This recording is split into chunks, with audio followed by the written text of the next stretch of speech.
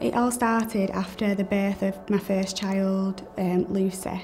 It was just hectic and it was just a busy time and I chose convenience food over nutritionally balanced meals. The turning point for me was last October um, when I was on holiday in Haven with my family and We'd been away previously and I would never get into the swimming pool because I would never put on a swimming costume. And my seven year old, my youngest, she turned round to me and just said, I wish you wasn't so fat.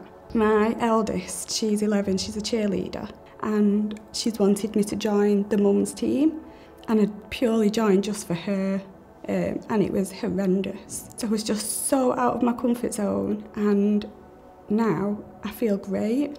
Um, we've done competitions with the mum's team, which we've won, um, and even she's just so proud of me. We're actually going away in two weeks, and I will be going in the swimming pool. so Amelia, my youngest, she'll be absolutely over the moon.